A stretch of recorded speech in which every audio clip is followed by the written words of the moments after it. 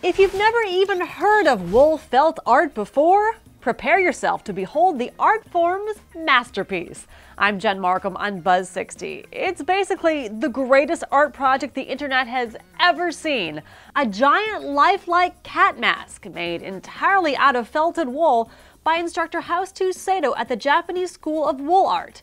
Sato posted a series of photos on his website and Facebook page of his students modeling his masterpiece, each appearing as a human cat hybrid with a distinct personality.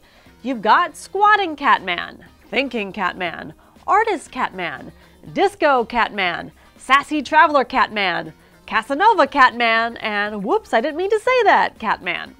The giant helmet will be displayed for one week at the Tokyo Metropolitan Art Museum, and while Sato says there are no plans to mass produce the mask or make it available for retail sale, Sato says he may consider renting or selling the piece after the exhibition. And if the school is trying to figure out what they might want to charge for such a rental, I'm gonna go with whatever they want. People will pay it. For pictures like these, are you kidding?